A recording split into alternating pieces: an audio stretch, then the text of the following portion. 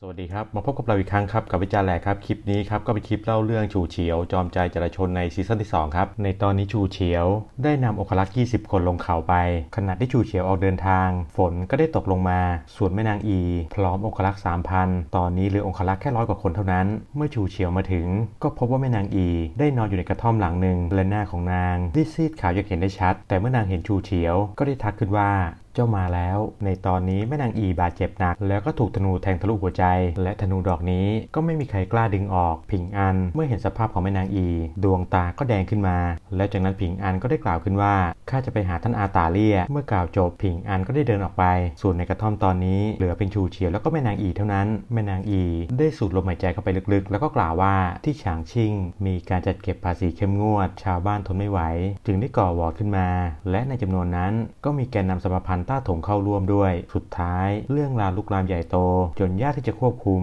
ชูเฉียวพอฟังก็ได้กล่าวว่าท่านก็เลยเข้าร่วมด้วย และเหตุใดพวกท่านจึงได้เลอะเลือนเช่นนี้ รู้หรือไม่ ว่าการเข้าร่วมจราจรเท่ากับเป็นการก่อกบฏเดิมทีเย็นศิลก็ไม่ไว้ใจต้าถงอยู่แล้ว แต่พวกท่านก็ยังทำการสะเพ่าเช่นนี้แม่นางอีพอฟังก็ได้หัวเราะออกมา แล้วก็กล่าวด้วยความเลื่อนลอยว่า เจ้าไม่รู้อะไร ปีที่แล้วฉางชิง นั้นประสบภัยธรรมชาติ ปีนี้ผลผลิตก็ไม่ดีและบางพื้นที่ก็ได้เริ่มขายลูกตัวเองแล้ว พวกเขาค้นแค้นถึงปานี้ เยียนศิลยังแย่งชิงอาหาร ที่มีนอนนิดของชาวบ้านอีก และนี่ใหญ่ไม่เท่ากับเอาชีวิตกัน เยียนศิลได้เตรียมเสบียงคัง เพื่อโจมตีด่านชุยเว่ยก่อนเข้าฤดูหนาว ดังนั้นทั้งเกณฑ์ทหารและเรียกเก็บภาษี ส่วนรัษฎรก็อดตายไม่รู้เท่าไหร่ข้าแม้รู้ว่าผลออกมาเช่นนี้ แต่ข้าก็ยังคงต้องทำชูเฉียวเมื่อฟังถึงตอนนี้ก็ได้กุมมือแม่นางอีเอาไว้ ส่วนแม่นางอีก็ได้กล่าวต่ออีกว่า ชูเจ้าเป็นคนดี เพียงแต่ชีวิตนั้นขมขื่นเกินไป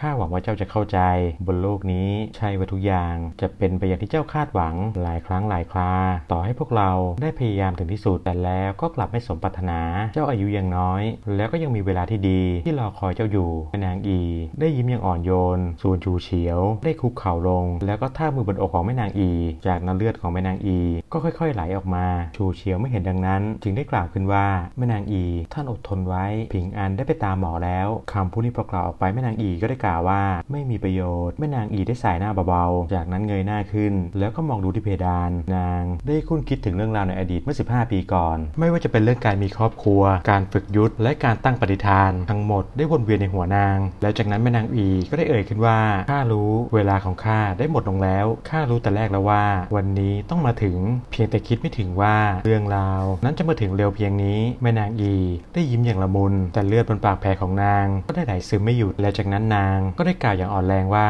อาชูข้าอยากหลับสักครู่ถ้าเต้าหยามาถึงก็อย่าลืมปลุกข้าชูเฉียวพอฟัง ก็ได้พยักหน้ารับ ส่วนแม่นางอี ก็ได้หลับตาอย่างสบาย แล้วก็กล่าวเบาๆว่า แค่นอนครู่เดียวเท่านั้นข้าเพลียเหลือเกิน หลังจากแม่นางอีได้หลับแล้ว ข้างนอกก็มีเสียงดังขึ้นว่าใต้เท้าและเสียงนี้ก็เป็นเสียงของเฮอร์เซียวเฮอร์เซียวได้วิ่งเข้ามา แต่เมื่อเห็นแม่นางอีหมดลมหายใจแล้วเฮอร์เซียวก็ตะลึงอยู่กับที่ส่วนชูเฉียว ก็ได้ถามเฮอร์เซียวช้าๆว่า มีเรื่องอะไรเฮอร์เซียวหลังจากเงียบไปนานก็ได้กล่าวว่าท่านอูมาถึงแล้วขณะที่ชูเฉียวได้เห็นท่านอู ฝนนั้นก็ตกไม่หยุดชูเฉียวในชุดกันฝน เมื่อมาถึงสุดเขตพื้นที่ชิวหลัน ภายใต้การคุมกันของเฮอร์เซียว ในตอนนี้ทุ่งกว้าง นั้นก็ได้มืดแล้ว และเหล่านักรบก็ได้จุดไฟขึ้น ถนนทางสาย นั้นเรียงรายด้วยซากศพสุดท่านอูก็ยังคุกเข่าอยู่ พร้อมทั้งหันหน้ามาดูชูเฉียว แต่บนหลังของท่านอูก็มีลูกธนูเสียบอยู่ 3 ดอก แล้วก็เหมือนเดิมธนูหนึ่งดอก ได้แทงทะลุหัวใจท่านอู ส่วนใบหน้าท่านอูนั้นทั้งขาวซีดและก็มีเลือดไหลจากมุมปาก และในตอนนี้ท่านอู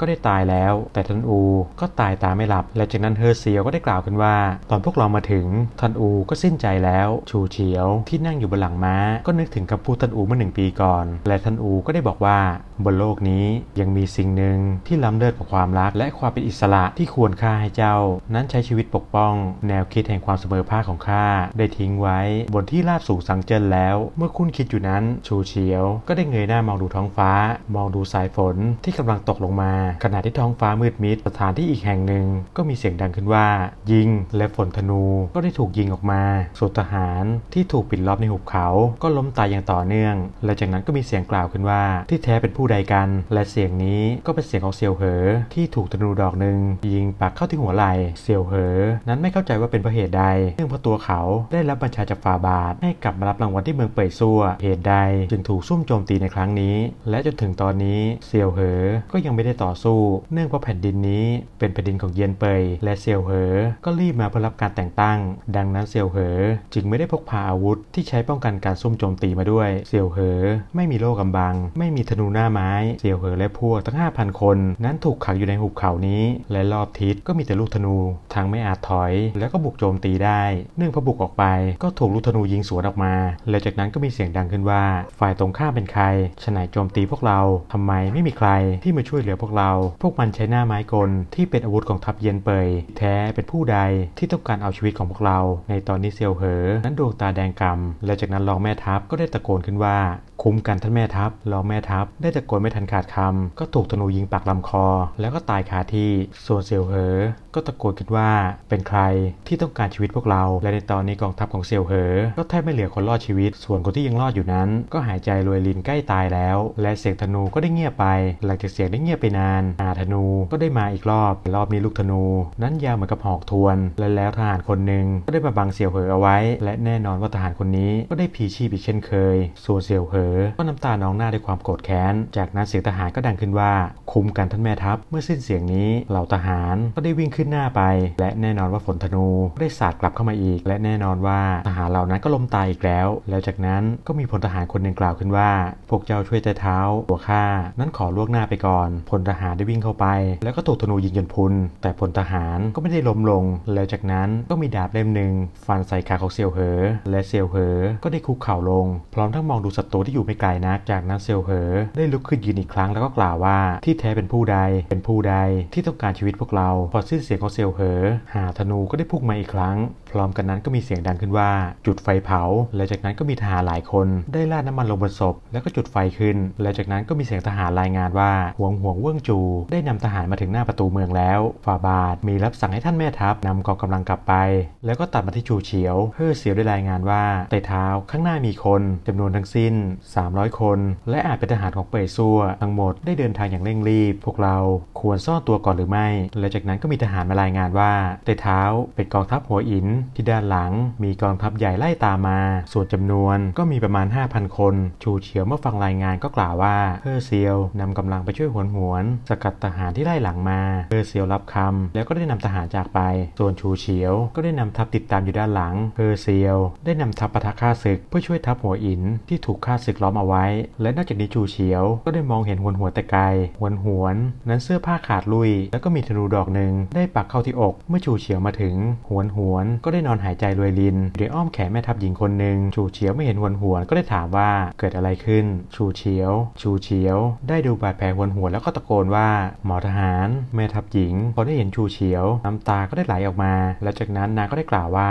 ฟาบาทจะฆ่าเวนจูของพวกเรา แม่ทัพเซียวเหอก็ได้เสียชีวิตแล้วเวนจูก็ถูกซุ่มโจมตี เมื่อแม่ทัพหญิงกล่าวจบหวนหวน ก็ได้เพ้อเรียกชื่อเซียวเหอ ส่วนแม่ทัพหญิงก็ได้ได้กล่าวทั้งน้ำตาว่าเวนจูส่วนหวนหวนก็ได้คิดถึงเรื่องราวแต่หนหลัง ที่เคยพูดคุยกับเซียวเหอ และเซียวเหอต้องการแต่งงานกับนาง หลังจากหวนหวนได้คุ้นคิดอยู่นั้นจูเฉียวก็ได้กุมมือนางแล้วก็กล่าวว่าหวนหวนอดทนไว้ ตอนนี้หมอทหารใกล้มาถึงแล้ว ส่วนหวนหวนพอฟังได้บีบมือชูเฉียวไว้แน่น ชูเฉียว ได้มองตาหวนหวนที่มีแต่ความเครียดแค้น แล้วจากนั้นหวนหวนก็ได้กล่าวด้วยความยากลำบากว่า เพราะอะไรต้องฆ่าพวกเรา เพราะอะไรต้องฆ่าพวกเรา พอสิ้นคำกล่าวนี้แม่ทัพหญิงก็ได้กล่าวว่าเวนจู นี่จะเท้าชู ในตอนนี้หวนหวน ก็คล้ายไม่ได้ยินเสียงแล้วจึงกล่าวอีกว่า พวกเราทำผิดอะไรทำไมต้องฆ่าพวกเรา คนในละคุณ จิตใจชั่วช้าข้าเกลียดเจ้า หลังจากหวนหวนได้ด่าทอเย็นสินแล้ว นางก็กระอักเลือดออกมา แล้วก็กล่าวด้วยเสียงแผ่วเบาว่าเซียวเหอ